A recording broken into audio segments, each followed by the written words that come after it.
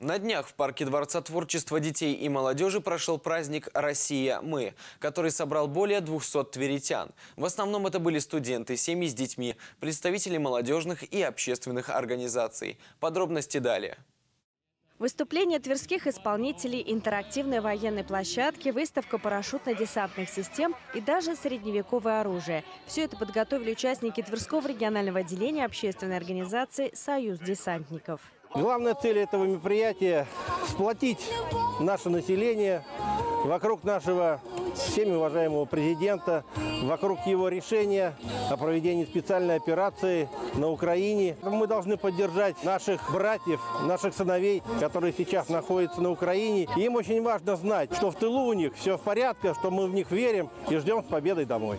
В течение нескольких часов патриотический праздник собрал более 200 человек. С каждым днем слова публичной поддержки российским вооруженным силам звучат все чаще. Долго, упорно, многие годы наша страна добивалась позитивного разрешения, мирного разрешения вопроса на Украине. Но, как говорится, жизнь ставит свои условия, определяет свои параметры развития событий. И то, что было принято Верховным главнокомандующим, нашим президентом Владимиром Владимировичем Путиным на Украине, было своевременно и правильно.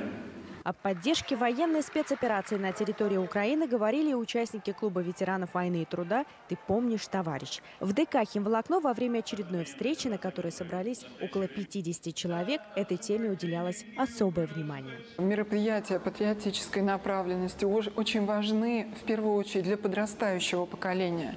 Поэтому городской клуб «Ты помнишь, товарищ» проводил концерт, мероприятие, на которое были приглашены ветераны Великой Отечественной войны, ветераны вооруженных сил, ребята из различных школ, колледжей дарили творческие подарки и желали здоровья и благополучия нашим ветеранам. По традиции, в конце марта общественные организации проводят встречи, на которых говорят о подвигах наших предков и о героической истории нашей страны.